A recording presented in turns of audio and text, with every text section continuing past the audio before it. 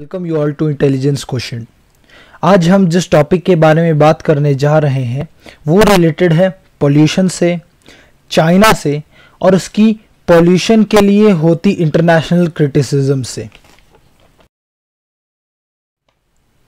Subscribe कीजिए intelligence question channel को और बेल आइकन दबाइए हमारे लेटेस्ट वीडियोस सबसे पहले देखने के लिए।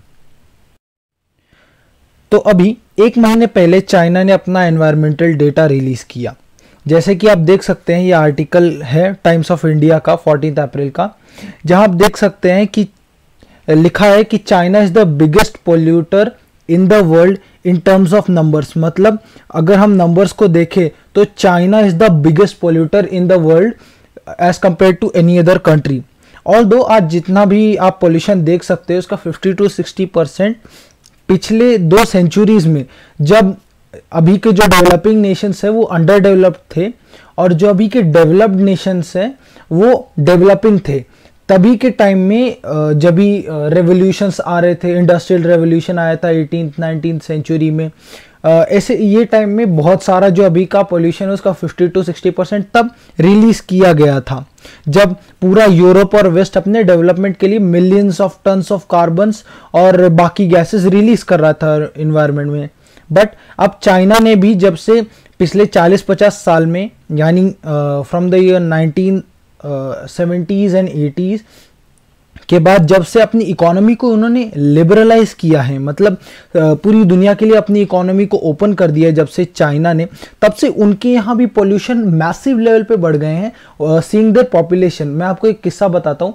1976 यानी 1976 में चाइना की पॉपुलेशन ने वन बिलियन टच किया था।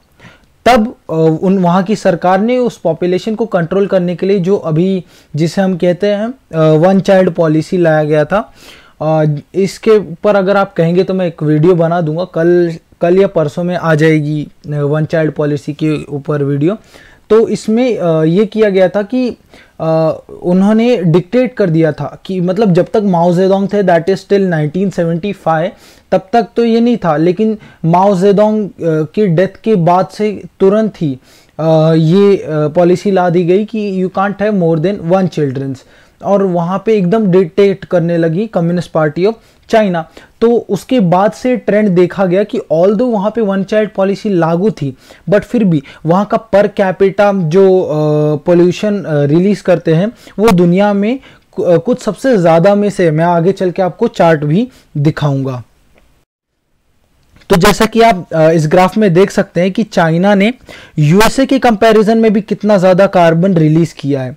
और पर कैपिटा कार्बन फुटप्रिंट में भी आप देख सकते हैं कि इंडिया का पर कैपिटा कार्बन फुटप्रिंट दुनिया में वन ऑफ़ द लोवेस्ट है। वहीं चाइना का वन ऑफ़ द मोस्ट है।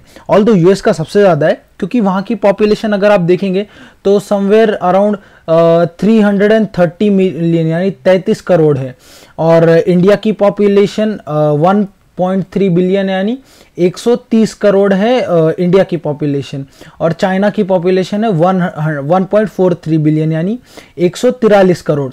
पर अगर आप देखेंगे तो इंडिया और चाइना की पॉपुलेशन में सिर्फ़ 13 करोड़ का गैप है। बट फिर भी इनकी पर कैपिटा अगर आप कार्बन फुटप्रिंट देखेंगे तो इंडिया का 1.8 टन है पर ईयर और वहीं चाइना का है 7.7 टन पर ईयर यानी ऑलमोस्ट पाँच से छः गुना ज़्यादा है।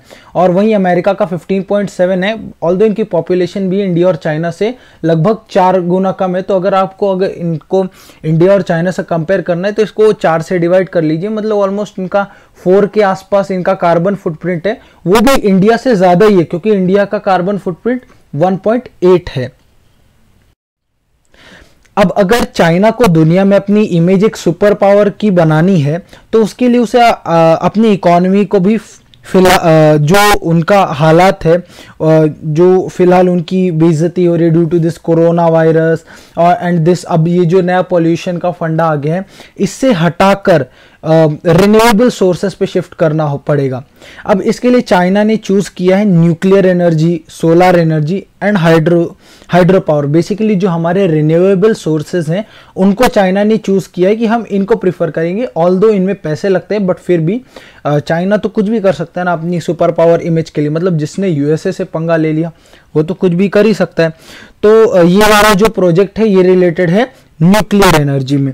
तो सबसे पहले हम इसका थोड़ा ओवरव्यू देख लेते हैं। तो इस प्रोजेक्ट का नाम है तियानवे न्यूक्लियर पावर प्लांट इसमें जो अभी, मैं आपको इस प्रोजेक्ट के बारे में बताता हूँ कि अभी तक इसके आठ मतलब बनने थे। पूरा प्लान था इनका कि आठ यूनिट्स बनाएँगे।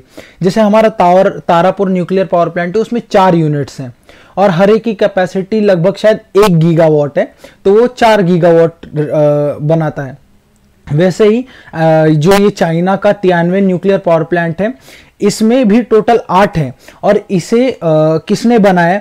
दो कंपनीज़ ने मिलकर बनाया है that is the China National Nuclear Corporation और आ, एक ये है एटम्स रो एक्स रो एक्सपोर्ट अब देखिए जो रशिया के होते कंपनीज़ उनका नाम ऐसे ही होता है। जैसे आप देख लीजिए स्पेस का जो एक्सपोर्ट करती है रॉसबोरॉन एक्सपोर्ट वैसे इनके नाम होते हैं। तो ये जो एटम स्ट्रॉ एक्सपोर्ट है, ये जो रशियन न्यूक्लियर कॉरपोरेशन है, रॉस एटम, इसका एक न्यूक्लियर इक्विपमेंट एक्सपोर्ट करने वाला ब्रांच है। तो इन्होंने एक कॉरपोरेशन, जॉइंट वेंचर बना के इस प्रोजेक्ट को डेवलप किया है। तो अभी तक इसमें छह यूनिट्स बन चुके हैं।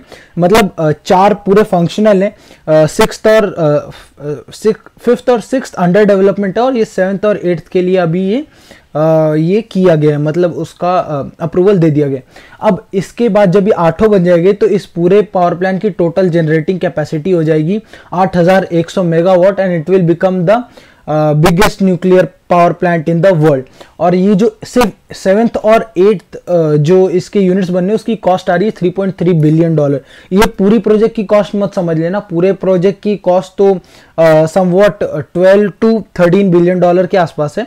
बट ये सिर्फ़ सेवेंथ एंड एट्थ इसलिए तो मैंने कहा ना चाइना के पास बहुत बड़ी चेकबुक है। वो कितना भी स्पेंड कर सकता है अपनी इमेज इंप्रूव करने के लिए और इससे चाइना को फ़ायदा भी होगा। तो बेसिकली क्या होता है 2018 में चाइना और रशिया ने एक डील साइन की। चाइना ने चाइना के एक ऑलरेडी एग्जिस्टिंग पावर प्लांट था। तब जो ये तियानवे न्यूक्लियर पावर प्लांट था, इसमें एक ही यूनिट लगा हुआ था। तो एक ऑलरेडी एग्जिस्टिंग पावर प्लांट में कैपेसिटी बढ़ाने के लिए पूरा डील साइन हुआ था। और एट व्हाट कॉस्ट हर दो यूनिट की कॉस्ट 3.3 बिलियन डॉलर फोरकास्ट की गई थी मतलब ये पूरा प्रोजेक्ट रेंज करेगा 30 टू 15 बिलियन डॉलर के बीच में, जिसके बाद ये दुनिया का सबसे बड़ा न्यूक्लियर पावर प्रोजेक्ट बन जाएगा। और इस प्रोजेक्ट का ओनर जो है जियांगसू न्यूक्लियर पावर कॉरपोरेशन ये एक जॉइंट वेंचर है between the China National Nuclear Corporation और रॉस एटम जो कि एक्सपोर्ट ब्रांच है किसका? मतलब सॉरी एटम स्ट्रॉ एक्सपोर्ट जो कि एक्सपोर्ट ब्रांच है किसका? रॉस एटम जो रशियन न्यूक्लियर कॉरपोरेशन है उसका। ना यहाँ पे आप देख सकते हैं आ, उसका मतलब रशिया और चाइना की पार्टनरशिप के बारे में बताया कि चाइना और रशिया कौन से कौन से न्यूक्लियर पावर प्रोजेक्ट में कोऑपरेट करने वाले हैं। तो 2018 की बात है कि रशिया और चाइना ने ये कोऑपरेशन डील साइन की थी कि ये तियानवे न्यूक्लियर पावर प्लांट में यूनिट सेवन और यूनिट एट में कोऑपरेट करेंगे। और मतलब ऑलरेडी बाकी छः में कर चुके थे बट और बट सेवन और एट में भी करेंगे।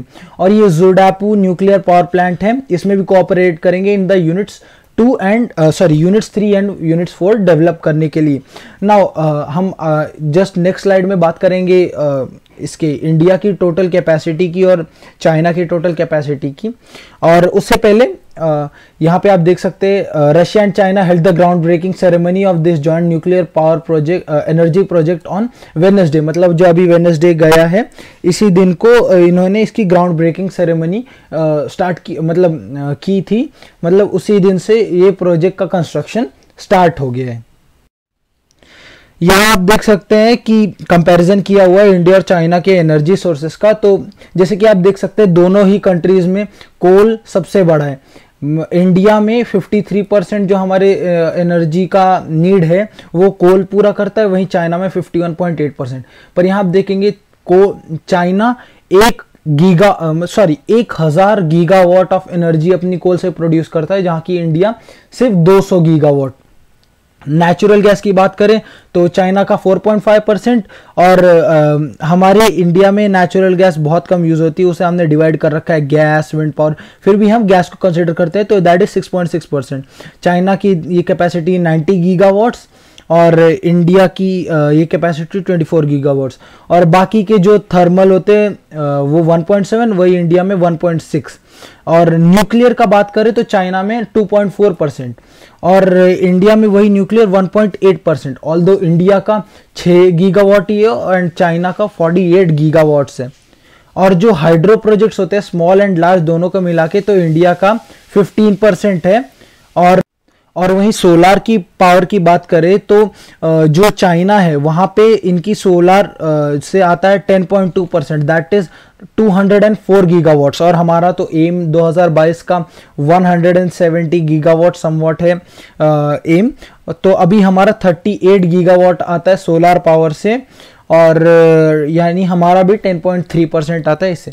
तो ये एक छोटा सा कंपैरिजन था बिटवीन चाइना एंड इंडिया और चाइना अपनी टोटल एनर्जी प्रोड्यूस करता है 200 2200 गीगावाट्स वहीं इंडिया 382 गीगावाट्स ये जस्ट इंफॉर्मेशन थी। और चाइना में जो उनकी 100 परसेंट पॉपुलेशन है, उसके वो इलेक्ट्रिसिटी प्रोवाइडेड है, वही इंडिया में ये परसेंटेज 87 का है। मतलब इंडिया के 80 परसेंट लोग एटी परसेंट लोगों के पास इलेक्ट्रिसिटी आज के दिन में अवेलेबल है। तो यहाँ पे आप देख सकते हैं, ये जागरण जोश का आर्टिकल है। Russia and China start their biggest nuclear power project ये 20 मई का आर्टिकल है।